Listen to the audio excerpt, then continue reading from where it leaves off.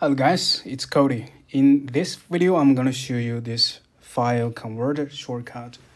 I often use it to convert uh, PDF to EPUB, uh, but you can use it to convert any files. You can manually input the file format for the uh, output file. It also works on Mac. You can run it and you uh, right click on a file uh, in the Finder app and select Quick Action and select this shortcut. Uh, also, you can run it from Share Sheet on your iPhone or iPad. So this is required. So let me go to uh, Telegram. So you see, uh, someone sent send me uh, PDF files. So I want uh, convert to EPUB so I can use my uh, book uh, iBook app to view uh, to read the book. So I'm click select and uh, tap share so I don't have to leave this Telegram app and select this file convert shortcut and tap it.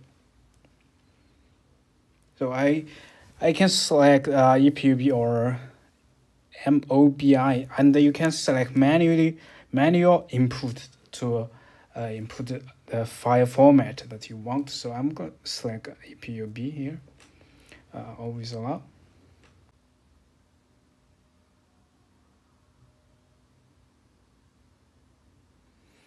Uh, always allow. That's been complete.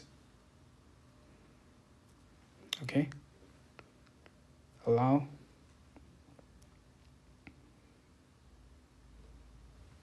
Uh, always allow this is only you have to type uh, tap it when you run it for the first time. So I'm gonna select a location to save the file. Let's just save it on my iPad and select a download uh, folder. Okay. Uh, exit. And you can run convert another if you want. Open the Files app Where's the Files app? And download, let's say, allow without limits. Ah, I can read it in, in my books. It.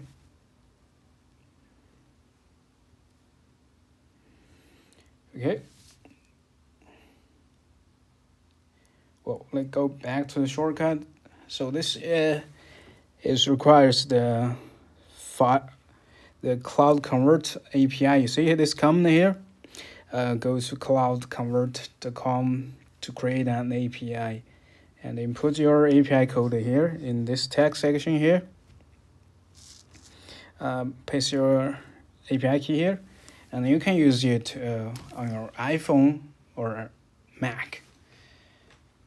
So you can you can write it from here and select files uh, select a file from the uh,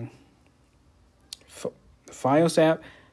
Okay, I can also run the files. So let's try an image. Okay.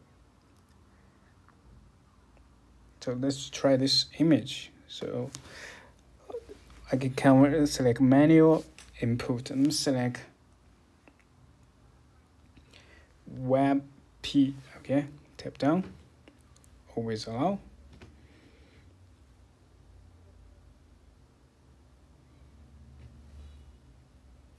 Okay, tip down.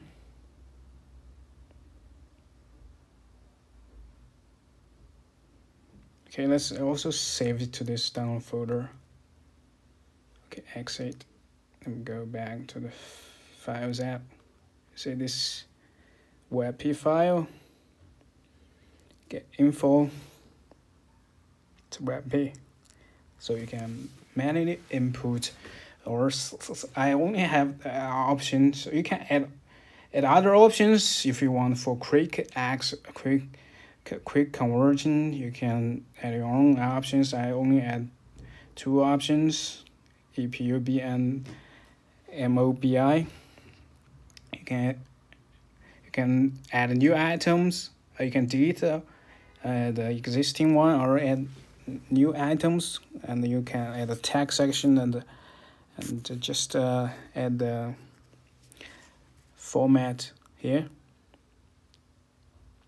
Okay that's um, pretty much it for this video. Hope you find helpful. As always thank you for watching. I'll share the shortcut link in the description. You just click a link to add it to your iPhone or Mac. So I, I as always I'll see you in the next one